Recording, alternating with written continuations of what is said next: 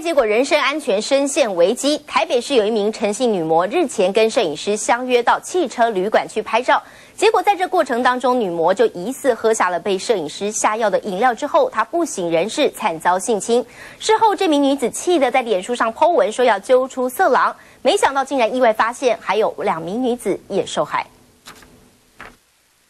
一张张清凉写真，忧虑拍姐”称号的陈小姐，以身材火辣、配合度高，在摄影师界名气响亮。没想到星期一在外拍的过程中，却疑似在大直的汽车旅馆被一名阳性摄影师性侵。他叫坚持要我喝完才进去，我就喝了一杯半之后我就没意思了，因为我 MC 来，然后上面摆我垫卫生棉，然后他内裤就把我摆在我的包包里面。陈小姐只记得早上九点，她坐上阳性男子的黑色轿车，喝了一杯味道苦苦的抹茶拿铁。接着在大直的 motel 内又喝了几杯红酒，就不省人事。隔天下午五点醒来，人却到了三重，而且下半身赤裸。初步检验是，